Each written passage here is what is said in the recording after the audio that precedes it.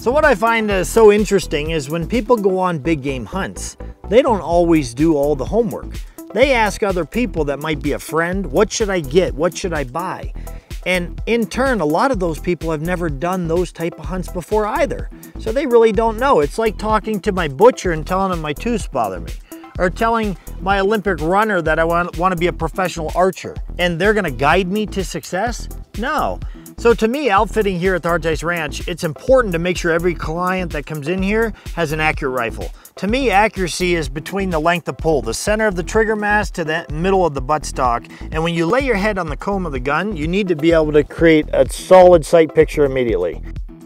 To me, that's number one. I see a lot of people, and an example I have is yesterday I had seen a neighboring ranch have a, a guy that spent 23 years applying for a premier tag. I saw him pull out his gun out of his out of his scabbard. I realized that gun did not fit him incredibly well. It was way off. But at the end of the day, for a once in a lifetime opportunity, I make sure everyone I know has a gun that fits him incredibly well.